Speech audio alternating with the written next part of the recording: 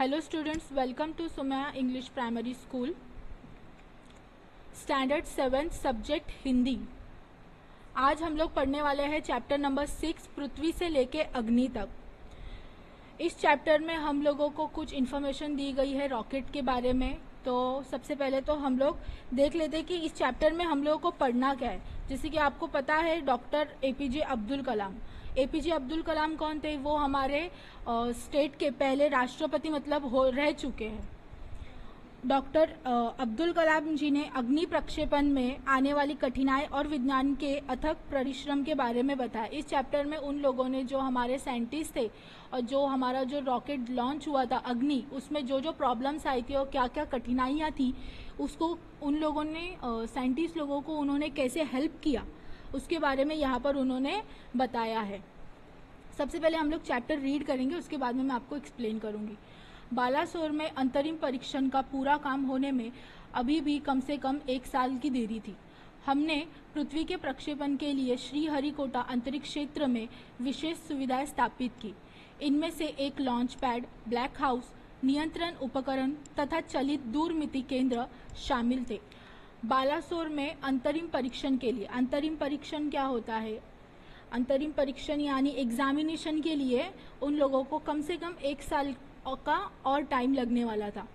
हमने पृथ्वी के प्रक्षेपण के लिए, पृथ्वी यानी हमारा जो अर्थ होता है, उसके प्रक्षेपण यानी लॉन्च के लिए श्री हरिकोटा अंतरिक्ष केंद्र में। अंतरिक्ष केंद्र यानी क्या होता है? स्पेस सेंटर जो होता है, उसमें विशेष सुविधाएँ स्थापित की थी। सुविधा यानी फैसिलिटीज़ वहाँ पर बहुत सारी अवेलेबल थी। इनमें से एक लॉन्च पैड ब्लैक हाउस नियंत्रण उपकरण तथा चलित दूरमित्र मिति केंद्र शामिल थे। पृथ्वी उपग्रह को 25 फरवरी 1988 को सुबह ग्यारह बजकर तेईस मिनट पर छोड़ा गया। पृथ्वी उपग्रह, पृथ्वी एक सैटेलाइट है मतलब एक सैटेलाइट को पृथ्वी करके नाम दिया गया है। उसको 25 फरवरी 1988 1988 यानी 1988 को सुबह ग्यारह बज के तेईस मिनट पर छोड़ा गया। यह देश के रॉकेट विज्ञान के इतिहास में एक युगांतरी घटना थी। यह देश के रॉकेट विज्ञान, यानी रॉकेट साइंस में एक युगांतरी, यानी एक युग के बाद में ये घटना घटी थी। निर्देशित मिसाइलों के क्षेत्र में एक आत्मनिर्भर देश के रूप में पृथ्वी के उद्भव ने संसार के सभी विकसित देशों को विचलित कर दिया था। निर्देशित मिसाइलों के क्षेत्र में, यानी निर्देशित मिसाइलों का एक क्षेत्र, यानी एक जो सेंटर होता है में एक आत्मनिर्भर देश, आत्मनिर्भर यानी सेल्फ डिपेंडेंट देश के रूप में भारत को क्या किया था? विचलित कर दिया था। समर्थशील नागरिक, अंतरिक्ष उद्योग और व्यवर्थ मिसाइल आधारित सुरक्षा प्रणालियों ने भारत को चुनिंदा राष्ट्र के समूह में पहुँचा दिया था। समर्थशील नागरिक, अंतरिक्ष युद्ध और व्यवहार्य मिसाइल आधारित सुरक्षा प्रणालियों ने भारत को चुनिंदा राष्ट्रों के समूह में पहुँचा दिया था। लेकिन क्या एक पृथ्वी की पर्याप्त तो होगा? क्या पाँच, चार, पाँच मिसाइल प्रणालियों का एक स्वदेशी विकास हमें पर्याप्त रूप से ताकतवर बना पाएगा? उसी समय अग्नि को एक टेक्नोलॉजी प्रदर्शन परियोजना के रूप में विकसित किया जा रहा था। ये सब सवाल हमारे सामने खड़े थे, लेकिन क्या एक पृथ्वी ही पर्याप्त होगा? क्या चार, पाँच मिसाइल प्रणालियों का स्वदेशी विकास हमें पर्याप्त रूप से ताकतवर बना पाएगा क्या? उसी समय अग्नि को एक टेक्नोलॉजी प्रदर्शन परियोजना के रूप में विकसित किया गया था। अग्नि एक टेक्नोलॉजी है जिन लोगों को इन जिन साइंटिस्ट लोगों ने इसको क्या किया था? निर्माण किया था, यानी इसको बनाया था। देश के भीतर उपलब्ध समस्त संसाधनों को दाव पर लगाकर यही एक उत्तर था। अग्नि टीम में 500 से अधिक वैज्ञानिक थे। अग्नि जो टीम थी, यानी जो प्रोजेक्ट अग्नि था, उसमें कम से कम 500 से ज़्यादा वैज्ञानिक, यानी साइंटिस्ट शामिल थे। और इन विशाल प्रक्षेपणों में अनेक संगठनों का नेटवर्क बनाया गया था। और इस विशाल प्रक्षेपण में, प्रक्षेपण क्या होता है? प्रक्षेपण यानी लॉन्च में इस विशाल लॉन्च में ये अग्नि जो एक उन लोगों का प्रोजेक्ट था इसके अं, इसके अंदर 500 से ज़्यादा साइंटिस्ट शामिल थे। और इस लॉन्च को बनाने के लिए अलग अलग संगठनों का एक नेटवर्क बनाया गया था। संगठना यानी एक अलग अलग जो पॉइंट्स होते जो मतलब अलग अलग जुड़े होते जैसे कि अभी हमें कोई भी चीज़ या डिश बनानी रहती है तो उसमें अलग अलग इंग्रेडिएंट्स हमें ऐड करने रहते। वैसे ही यहाँ पर एक अलग अलग संगठनाएँ होती है उन सब नेटवर्क को एक साथ में बनाया गया था। अग्नि का प्रक्षेपण 20 अप्रैल उन्नीस सौ नवासी को निर्धारित किया गया था। अग्नि का प्रक्षेपण प्रक्षेपण यानी जो लॉन्च था अग्नि, जो प्रोजेक्ट था, उसका लॉन्च जो था, वो 20 अप्रैल उन्नीस सौ यानी 1989 को निर्धारित किया किया गया था। निर्धारित यानी उस दिन उन लोगों ने ये डेट सेट की थी कि इस डेट के दिन हमें उसको निर्धारित यानी लॉन्च वगैरह करना है। यह एक अभूतपूर्व अभ्यास होने वाला था। अंतरिक्ष प्रक्षेपण यान के विपरीत मिसाइल प्रक्षेपण में व्यापक स्तर पर सुरक्षा संबंधी खतरे शामिल थे।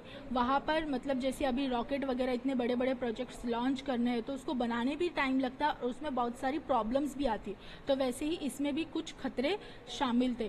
प्रक्षेपण की पूर्व तैयारी की सारी गतिविधियाँ तय कार्यक्रम के अनुसार पूरी हो गई थी। प्रक्षेपण की पूर्व तैयारी यानी लॉन्च की जो पूर्व तैयारी प्री प्री जो उन लोगों को जो भी जैसे कि पूर्व तैयारी को कहा जाता है। पहले से ही प्रिपेयर करना प्रिपरेशन करना की सारी गतिविधियाँ तय कार्यक्रम के अनुसार पूरी हो गई थी। जिस समय हम टी 14 सेकेंड पर थे कंप्यूटर ने संकेत दिया कि उपकरणों में से कोई एक ठीक से काम नहीं कर रहा जिस समय हम टी 14 सेकेंड पर थे कंप्यूटर ने क्या संकेत दिया? संकेत यानी हिंट दिया कि कुछ उपकरणें ठीक से काम नहीं कर रही कुछ उपकरण यानी जिसके अंदर जो मशीन्स वगैरह लगती है, वो ठीक से काम नहीं कर रही है। इसे तुरंत सुधार लिया जाए। इसे फ़ौरन क्या करना चाहिए? सुधार लेना चाहिए, ठीक कर लेना चाहिए। इस बीच निचली रेंज के केंद्र ने होल्ड के लिए किया। और इस बीच में जैसे कि लॉन्च होने वाला था, वो जो मशीन्स वगैरह थी, वो काम नहीं कर रही थी, उसको सुधार करना था तो इसीलिए निचली रेंज के केंद्र ने होल्ड के लिए किया। होल्ड कहा, यानी रुकने के लिए कहा। अगले कुछ सेकंड में जगह जगह होल्ड की ज़रूरत पड़ गई। हमें प्रक्षेपण स्थगित करना पड़ा। और अगले कुछ सेकंड में मैंने जैसे कि बताया कि वो लोग जो प्रोजेक्ट्स वगैरह बनाते हैं, उसको वो लोग टेस्ट वगैरह भी करते हैं तो उसके लिए उन लोगों को जगह जगह पे होल्ड की ज़रूरत पड़ी और उसके बाद में वो कुछ उपकरणों में काम भी निकल आया था, उसको सुधार करना था, इसीलिए उन लोगों को प्रक्षेपण को स्थगित करना पड़ा। स्थगित यानी पोस्टपोन करना पड़ा। मैं अपनी टीम के सदस्यों से मिलने गया। जो सदमे और शौक की हालत में थे। अभी ये मैं अपनी टीम के सदस्य यानी ये जो सब बातें हम लोग को बता रहे हैं वो कौन बता रहे हैं? Doctor A P J Abdul Kalam अपना एक एक्सपीरियंस हमारे साथ में शेयर कर रहे कि जब उनके साइंटिस्ट लोग मतलब आ, अपनी कठिनाइयों से और परेशानियों से जूझ रहे थे तो उन्होंने उनसे क्या बातें की? कैसे उन लोगों ने इस अग्नि को मतलब इस जो प्रोजेक्ट था, उनका जो अग्नि करके एक प्रोजेक्ट था, उस अग्नि प्रोजेक्ट में सफलता पाई, वो अपना एक्सपीरियंस हमारे साथ में यहाँ पर शेयर कर रहे हैं। मैं अपनी टीम के सदस्यों से मिलने गया, जो सदमे में और शौक की हालत में बैठे थे। जो क्या बैठे थे? सदमे में और शौक की हालत में बैठ गए थे। मैंने एस एल वी थ्री के अपने अनुभव को उनके साथ में बांटा। अभी जैसे कि डॉक्टर ए बी जे कलाम हमारे एक पूर्व राष्ट्रपति भी रह चुके और उन्होंने हमारा इंडिया का फ़र्स्ट रॉकेट लॉन्च किया था तो उनके लिए ये नई बात नहीं थी कि जब वो रॉकेट लॉन्च करे या फिर कोई प्रोजेक्ट को हैंडल करे तो उसमें प्रॉब्लम्स भी आती है। तो अपने जो साइंटिस्ट का, जो 500 साइंटिस्ट का उनका ग्रुप था, जब वो मायूस हो गया था, कुछ प्रॉब्लम्स की वजह से वो लोग उदास हो गए थे तो डॉक्टर अब्दुल कलाम ने उनका एस एल वी थ्री के अनुभव को उनके साथ में बांटा। मेरा प्रक्षेपण यान तो गिरकर समुद्र में खो गया था, लेकिन उसकी वापसी सफलता के साथ हुई। उन्होंने कहा कि उनका जो प्रक्षेपण यान था, वो समुद्र के अंदर गिर गया था, लेकिन उसकी वापसी सफलता के साथ हुई। आपकी मिसाइल अभी तक आपके सामने है। आपका जो मिसाइल है, यानी जो अग्नि प्रोजेक्ट जो है, वो आपके सामने है। वास्तव में आपने कुछ भी ऐसा नहीं खोया है जिसके, जिसे एक दो हफ्तों के काम में सुधारा ना जा सके। उन्होंने क्या कहा? वास्तव में आप लोगों ने ऐसा कुछ भी नहीं खोया है जिसको आप लोग सुधार नहीं सकते हो। इस विवरण ने उन्हें जड़ता की हालत से झक छोड़कर बाहर निकाल दिया। इस विवरण, अभी इस विवरण का मतलब क्या होता है? विवरण यानी इस डिस्क्रिप्शन। जैसे कि उन्होंने अपना एक्सपीरियंस बताया तो इसके साथ में उन लोगों को विवरण मिला और उसके बाद में वो लोग जो मायूसी और शोक की हालत में बैठे थे, उससे वो लोग बाहर आए। और सारी की सारी टीम उप प्रणालियों की जाँच और उन्हें ठीक करने में, करने के काम में फिर से जुट गए और जो लोग निराश होकर बैठ गए थे, वो वापस से अपना जो उप प्रणालियाँ वगैरह, जो मशीन्स वगैरह ख़राब हो चुकी थी या सही से चल नहीं रही थी, वापस से उसका काम करने में जुट गए। अगले दस दिन तक दिन रात चले विस्तृत विश्लेषण के बाद हमारे वैज्ञानिक ने मिसाइल को 1 मई उन्नीस सौ नवासी को प्रक्षेपण के लिए तैयार कर लिया। अगले दस दिन दिन और रात चले विस्तृत विश्लेषण विस्तृत विश्लेषण यानी एनालिसिस उन लोगों ने मतलब जो उसके ऊपर जाँच की, उस मिसाइलों को ठीक किया, उसमें जो जो उपकरण जो काम नहीं कर रहे थे या चल नहीं रहे थे, उसमें दिन रात मेहनत करके उनको सही कर दिया।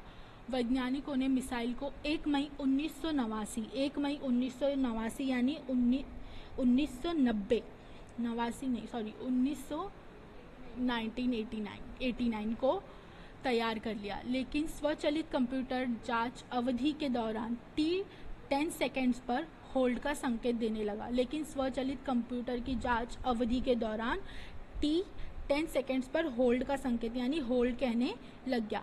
प्रक्षेपण फिर एक बार स्थगित करना पड़ा। जो उनका प्रक्षेपण था, जो उनको लॉन्च करना था, अग्नि प्रोजेक्ट वो वापस से एक बार पोस्टपोन हो चुका था। रॉकेट विज्ञान के क्षेत्र में इस तरह की चीज़ें बहुत आम है। रॉकेट विज्ञान, यानी रॉकेट साइंस के जो क्षेत्र, यानी जो क्षेत्र होता है, जो केंद्र होता है, उसमें ये सब चीज़ें बहुत आम होती है और अक्सर अन्य देशों में भी होती रहती है। सभी देश लोग जो रॉकेट्स वगैरह बनाते हैं या फिर बड़े बड़े प्रोजेक्ट्स लेते हैं, उन सब के लिए ये सब चीज़ें क्या होती है? आम होती है। मैंने D R D L R C I परिवार के 2000 से भी अधिक सदस्यों को संबोधित किया। मैंने D R D L R C I यानी एक शॉर्ट फॉर्म होता है, उन लोग जो भी प्रोजेक्ट्स पे काम करते हैं, उसका ये सब शॉर्ट फॉर्म होता है। उसमें 2000 से भी ज़्यादा लोग शामिल थे, उनको संबोधित किया। बहुत मुश्किल से ही कभी किसी प्रयोगशाला या आर एंड डी संस्थान को देश में पहली बार अग्नि जैसी प्रणाली विकसित करने का अवसर मिलता है। उन्होंने कहा कि बहुत मुश्किल से किसी प्रयोगशाला को, या या तो आर एंड डी संस्थान को, प्रयोगशाला यानी लेबोरेटरी और जो संस्थाएँ होती है, उनको अग्नि जैसा बड़ा जो प्रोजेक्ट होता है, उसको लॉन्च करने का अवसर यानी अपॉर्चुनिटी मिलती है। यह महान अवसर हमें दिया गया और ये अपॉर्चुनिटी किसे मिली है? हम इंडिया वालों को, हम भारतवासियों को मिली है। स्वाभाविक रूप से बड़े अवसर अपने साथ बराबर की चुनौतियाँ लेकर आते हैं। जितना बड़ा हमारा काम होता है, उसके साथ में उतनी सारी प्रॉब्लम्स और चुनौतियाँ भी हमारे साथ में आती है। हमें हिम्मत नहीं हारनी चाहिए। उन्होंने सबको क्या किया? हमें हिम्मत नहीं हारनी चाहिए। समस्याओं को हमें हराने का मौका नहीं दिए हमें कभी भी हमारी प्रॉब्लम्स को हमें हराने का मौका नहीं देना चाहिए। देश को हमसे सफलता से कम कुछ भी पाने का अधिकार नहीं। देश को हमसे सिर्फ़ क्या चाहिए? सफलता चाहिए और कुछ भी नहीं चाहिए। आइए सफलता को लक्ष्य बनाए। उन्होंने सबको क्या कहा कि आइए हम हमारी सफलता को हमारा क्या बनाते हैं? लक्ष्य बनाते हैं, हमारा गोल बनाते हैं। अपना संबोधन लगभग खत्म कर चुका था कि मैंने लोगों को कहते हुए पाया, मैं आपसे वादा करता हूँ, महीने के ख़त्म होने के पहले ही अग्नि का कामयाबी से प्रक्षेपण करने के बाद हम यहाँ वापस मिलेंगे। कुछ लोगों ने आपस में क्या किया? वादा किया कि एक महीने के मतलब एक महीना ख़त्म होने से पहले हम लोग क्या करेंगे? अग्नि जो प्रोजेक्ट हमारा है, उसको कंप्लीट करेंगे और उसकी कामयाबी का, हम क्या, कामयाब होने के बाद ही हम यहाँ पर वापस मिलेंगे। यह किसी आश्चर्य से कम नहीं था कि कैसे सैकड़ों कर्मचारियों ने लगातार लगातार काम करके प्रणाली की तैयारी का काम स्व, स्वीकार्यता परीक्षणों सहित केवल 10 दिन में पूरा कर डाला। ये किसी आश्चर्य से कम आश्चर्य से कम नहीं था। मतलब ये एक चौंका देने वाली बात थी कि सभी कर्मचारियों ने जितने भी साइंटिस्ट वहाँ पर काम कर रहे थे, उन्होंने सिर्फ़ 10 दिन में पूरा काम कर डाला। अब बाधाएँ पर पैदा करने की बारी विपरीत मौसम की थी। जितना भी अग्नि प्रोजेक्ट से रिलेटेड जो भी काम था मशीन्स वगैरह का, उपकरणों का, प्रणाली का, जो भी काम था, वो केवल दस दिन में पूरा हो गया था। अभी सिर्फ़ प्रॉब्लम्स आ रही थी, यानी प्रॉब्लम पैदा कौन कर सकता था? मौसम। एक चक्रावत का खतरा मंडरा रहा था। सभी कार्य केंद्र उपग्रह संचार के ज़रिए आपस में जुड़े हुए थे। सभी कार्य केंद्र यानी जितने भी जो सेंटर्स होते हैं, वो एक दूसरे से जुड़े हुए रहते हैं। उपग्रह संचार उपग्रह संचार क्या होता है? कम्युनिकेशन सैटेलाइट जो होता है, जो मौसम की जानकारी वगैरह हमें देते हैं। जैसे कि रॉकेट वगैरह लॉन्च करना होता है तो उसके लिए प्रॉपर मौसम की भी देख रेख करनी पड़ती कि मौसम सही है या नहीं। वरना वो लॉन्च कैंसिल भी हो जाता है और कभी कभी जो सही रिज़ल्ट हम लोगों को चाहिए, वो नहीं मिलता। मौसम संबंधी आंकड़े रुक रुक कर आने लगे। और 10 मिनट के अंतराल में उनकी बाढ़ सी आ गई। मौसम संबंधी आंकड़े रुक रुक कर आ रहे थे और 10 मिनट के अंतराल में क्या होगा? बाढ़ सी आ गई। अतः प्रक्षेपण 22 मई उन्नीस सौ नवासी के रोज निर्धारित निर्धारित किया गया। फिर प्रक्षेपण वापस से पोस्टपोन करके 22 मई 1989 को किया गया। यह पौर्णिमा की रात थी पौर्णिमा यानी पूनम की रात थी ज्वार के कारण लहरें किनारों से टकराकर और अधिक शोर मरा रही थी। ज्वार के कारण लहरें जो है वो आपस में टकरा रही थी और बहुत ज़्यादा शोर कर रही थी। क्या हम अग्नि के प्रक्षेपण में कल सफल होंगे? यह सवाल हमारे दिमागों में सबसे ऊपर था, लेकिन हम में हम में से कोई भी उस सुंदर रात के जादू को खंडित नहीं करना चाहता था। सबको यही टेंशन था कि कल जो उनका अग्नि प्रक्षेपण का जो लॉन्च है, वो सफल होगा या नहीं होगा? यही टेंशन में और खामोशी में सब लोग बैठे थे। एक लंबी खामोशी तोड़, तोड़ते हुए आखिरकार रक्षा मंत्री महोदय ने मुझसे पूछा। एक लंबी खामोशी तोड़ने के बाद जो रक्षा मंत्री थे उस वक्त उन्होंने अब्दुल कलाम जी से पूछा, कलाम कल तुम अग्नि की कामयाबी का जश्न मनाने के लिए मुझसे क्या उपहार चाहते हो कि कल जब तुम लोग अग्नि के प्रक्षेपण में कामयाब हो जाओगे तो तुम उसका जश्न मनाने के लिए मुझसे क्या उपहार यानी क्या गिफ्ट चाहोगे? यह एक मामूली सा सवाल था। लेकिन मैं तत्काल इसका कोई भी जवाब नहीं सोच पाया। ये एक मतलब मामूली सा सवाल था, लेकिन उसका अब्दुल कलाम जी के पास तत्काल यानी फ़ौर वो कोई भी आंसर उसका नहीं दे सकते थे। मैं क्या चाहता था? क्या था जो मेरे पास नहीं था? कौन सी चीज़ मुझे और खुशी दे सकती है? उनके मन में सवाल उठने लगे कि मुझे क्या चाहिए? ऐसी कौन सी चीज़ जो मेरे पास नहीं है? और ऐसी कौन सी चीज़ है जो मुझे और ज़्यादा खुशी दे सकती है? और तब मुझे जवाब मिल गया और ये सब चीज़ें सोचने के बाद उनको जवाब मिल गया और उन्होंने कहा, हमें आर सी आई में लगाने के लिए एक लाख पौधों की ज़रूरत है। उन्होंने क्या कहा कि, हमें आर सी आई एक संस्था है, वहाँ पर हमें एक लाख पौधों लगाने की ज़रूरत है। मैंने कहा, अगले दिन सुबह सात बजकर दस मिनट पर अग्नि मिसाइल प्रज्वलित हो पिटी, हो उठी। अगले दिन सुबह सात बजकर दस मिनट पर, सात बज के दस मिनट पर उन लोगों ने कौन से दिन? 22 मई उन्नीस सौ नवासी। 1989 को सुबह सात बज के दस मिनट पर अग्नि मिसाइल जो थी, अग्नि जो मिसाइल यानी जो रॉकेट था, वो प्रज्वलित यानी उसमें आग लग गई थी। यह प्रज्वलित वही आग लग गई, लॉन्च हो गया। यह एक परिपूर्ण प्रक्षेपण था। सभी उड़ान मानक पूरे हुए। यह एक दुस्वप्न भरी नींद के बाद एक खूबसूरत सुबह में जागने जैसा था। हम उनके कार्य केंद्रों पर पाँच साल की कड़ी मेहनत के बाद लॉन्च पैड पर आए थे। पाँच साल की कड़ी मेहनत के बाद उन लोगों ने अग्नि को, अग्नि जो उनका प्रोजेक्ट था, जो मिसाइल था, उसको क्या किया था? लॉन्च पैड पर लाया था। पिछले पाँच हफ्तों में गड़बड़ियों की एक श्रृंखला की अग्नि परीक्षा से गुजर रहे थे। पिछले पाँच हफ़्ते से जो अग्नि गड़बड़ियों के, यानी जो प्रॉब्लम्स वगैरह हो रही थी, उसकी श्रृंखला, यानी उसकी सीरीज़ से वो लोग गुजर रहे थे। लेकिन अतः हमने यह करके दिया। लेकिन लास्ट में क्या हुआ? वो लोग सफल रहे। उन लोगों ने अग्नि, जो मिसाइल थी, उसको लॉन्च किया और उसमें सफलता पाई।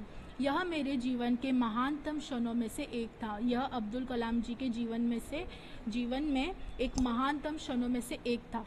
सिर्फ़ 600 सेकंड की भव्य उड़ान ने हमारी सारी थकान को एक पल में धो डाला।